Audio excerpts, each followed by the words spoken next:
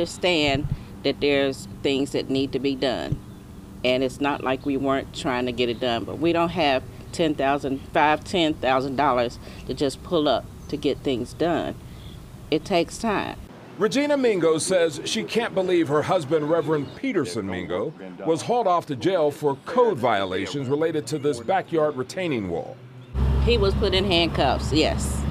He was actually arrested.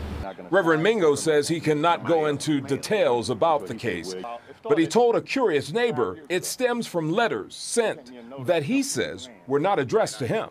My name is not William Peterson. My name is Peterson Mingo. Exactly. So I wasn't opening none of their letters. I was sending them straight back. Right. And so as a result of that, they eventually uh, caught up with me, drugged me into court, and asked me what I was going to do about the wall. Court records show the judge was prepared to impose a 100 day sentence.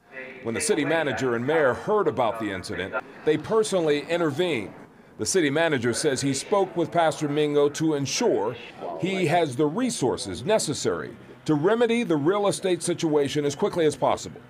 Today at City Hall, Regina Mingo said she hopes this sheds light on a situation that others should avoid. Not everyone has the mayor and city manager on speed dial. A longtime neighbor says arresting Mingo, in his opinion, is an overreach. It's a bit much. I've never even dreamed. I, in fact, when my sister called me, I was so shocked.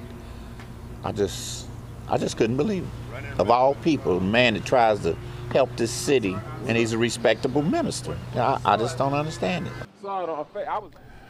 The city solicitor says, as a matter of policy, the city does not seek criminal sanctions for building code violations by owner occupants, but a judge can.